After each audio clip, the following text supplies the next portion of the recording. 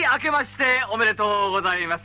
パックにリクエスト金曜担当の日がまたまたやってまいりました。はい、新年初金曜パックでございます、ね。はいさようでございまして今年もどうぞよろしくお願いします。お頼みをはじめ、皆々様、全国の皆様、はい白石文さんをはじめ全国の皆々様よろしくよろしくお願い申し上げますいかがでしたお正月は？どうでしたかお正月は？今年はほら大晦日にね、ええ。浅草の鐘付き堂の下でよかったね。あの大田区日の下でん。おみくじ引いたら今日だなんて。俺京都出たの？そうよでもだからとってもいいことがあると思うんです。大晦日に引いても京都出るわけだね。いや簡単に引いたわけよあだから。こうせつ君はね孝太郎君の分ばっかりなんか気にしてあの人はいい人ね本当だね。もう人情に熱いね。うん。自分の親の人なんかとっても心配になってるんだけど あの人のおみくじまでは見てなかったしかし二人はそんなことやったのあの鐘付き堂の下で。あのねおみくじ。鐘付き堂の人ね本堂に行ってからやったの。おみくじを引いたりね、お祈りをしたり お賽銭だけは拾わなかったけどダメですよ。ひろちゃんね私は大変だったんですよ。あの劇団の若い人一緒だったもんだから面倒見ながら。ね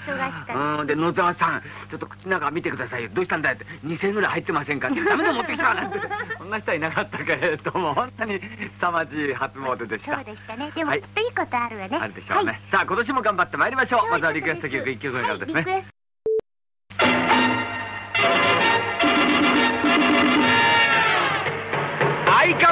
也ですこんばんは。深夜放送といえばもちろんナチチャコパックですね。僕も幼い頃から聞いておりました。そして今水曜パックは相川金也がやっております。これは総合乗り入れコマーシャルでした。しばらく頑張れ頑張っちゃほっぽりみば 何を言ってんだかね。幼い頃から幼い頃からそうですどこが幼かったんでしょうね。ええ息子さんじゃないですかやっぱりね。そういえばね。あの方いけないそうで。えダメだそうで。そんなことないよ。そんなことないですか？息子さんいるんじゃない？お嬢さんもえいますよ。お嬢様もいいんですよ。変な人ですかわいいおね嬢さんよ。わかんないな話がね。本当にだけどあの人は総合乗り入れたそうです。な方ですね。来週あたりそろそろお礼参りに行かなきゃいけないね。乗り入れなくちゃ。新春でもありましたね、ええあそうですね。15日に行くの新潟まだ言って